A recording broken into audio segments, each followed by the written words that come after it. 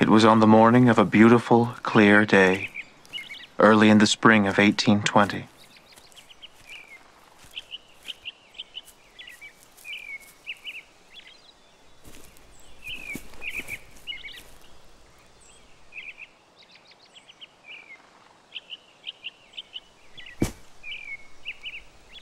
I kneeled down and began to offer up the desires of my heart to God.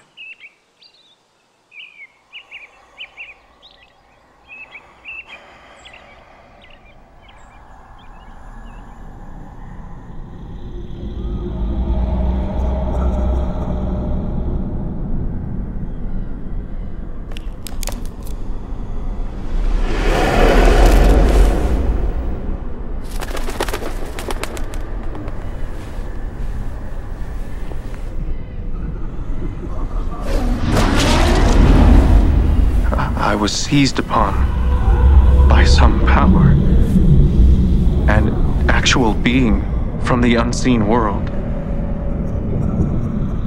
exerting all my strength to call upon God.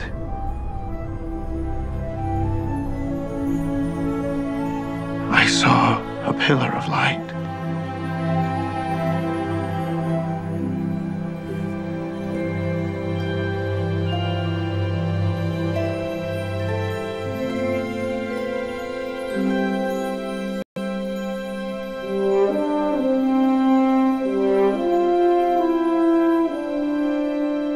When the light rested upon me, I saw two personages.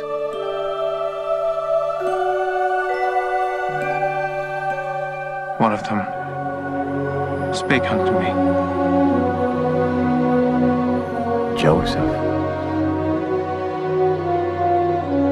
this is my beloved son. Hear him.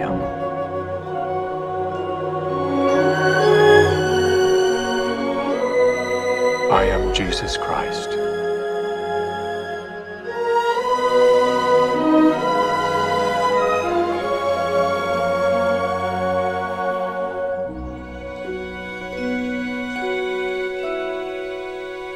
I saw God, the Father, and His Son, Jesus Christ. They did, in reality, speak to me. I knew it. And I knew that God knew it. And I could not deny it.